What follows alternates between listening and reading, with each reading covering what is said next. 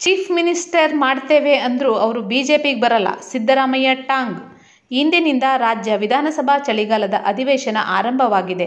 ಈ ವೇಳೆ ಬಿಜೆಪಿ ನಾಯಕರುಗಳನ್ನು ಮಾಜಿ ಸಿಎಂ ಸಿದ್ದರಾಮಯ್ಯ ಅವರು ಕಾಲೆಳೆದಿದ್ದಾರೆ. ಹೌದು, ಬೆಳಗಾವಿ ಲೋಕಸಭಾ ಉಪಚುನಾವಣೆಗೆ ಮುಸ್ಲಿಮರಿಗೆ ಟಿಕೆಟ್ ನೀಡಲ್ಲ ಎಂದು ಸಚಿವ ಕೆಎಸ್ ಈಶ್ವರಪ್ಪನವರ ಹೇಳಿಕೆಯನ್ನು ಸಿದ್ದರಾಮಯ್ಯ ಅವರು ಅಧಿವೇಶನದಲ್ಲಿ ಪ್ರಸ್ತಾಪ ಮಾಡಿದರು.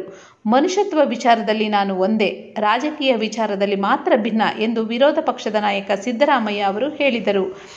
ನಾನು ಪಾರ್ಲಿಮೆಂಟರಿ ಟಿಕೆಟ್ ಮುಸ್ಲಿಮರಿಗೆ ಕೊಡಲ್ಲ, ಹೀಗಂತ ಈಶ್ವರಪ್ಪ ಬೆಳಗಾವಿಯಲ್ಲಿ ಹೇಳುತ್ತಾರೆ ಎಂದು ಸಿದ್ದರಾಮಯ್ಯ ಅವರು ಲೇವಡಿ ಮಾಡಿದರು. ಈ ವೇಳೆ ಮಧ್ಯಪ್ರವೇಶಿಸಿದ ಕಾನೂನು ಸಚಿವ ಮಾಧುಸ್ವಾಮಿ ಅವರು ಪತ್ರಕರ್ತರು ಕೇಳಿದ ಪ್ರಶ್ನೆಗೆ ಉತ್ತರ ಕೊಟ್ಟಿದ್ದಾರೆ. ಪತ್ರಕರ್ತರು ಈ ರೀತಿ ಪ್ರಶ್ನೆ ಕೇಳಬಹುದಾ? ನಾವು ಕಾರ್ಯಕರ್ತರಿಗೆ ಟಿಕೆಟ್ ಕೊಡುತ್ತೇವೆ ಎಂದು ಸಿದ್ದರಾಮಯ್ಯಗೆ ಮಾಧುಸ್ವಾಮಿ ತಿರುಗೇಟು ನೀಡಿದರು. ಇದಕ್ಕೆ ಪ್ರತಿಕ್ರಿಯಿಸಿದ ಸಿದ್ದರಾಮಯ್ಯ ಅವರು, ಹೌದಪ್ಪ, ನೀವು ಯಾರಿಗೆ ಬೇಕಾದರೂ ಟಿಕೆಟ್ ಕೊಡಿ. ಅದಕ್ಕೂ ನಮಗೂ ಏನೂ ಸಂಬಂಧವಿಲ್ಲ. ನೀವು ಕಾರ್ಯಕರ್ತರಿಗೆ ಟಿಕೆಟ್ ಕೊಡ್ತೇವೆ ಅನ್ನಿ. ಅದು ಬಿಟ್ಟು ಮುಸ್ಲಿಮರಿಗೆ ಟಿಕೆಟ್ ಕೊಡಲ್ಲ ಅಂದರೆ ಹೇಗೆ? ಎಂದು ಬಿಜೆಪಿ ನಾಯಕರಿಗೆ ಪ್ರಶ್ನಿಸಿದರು.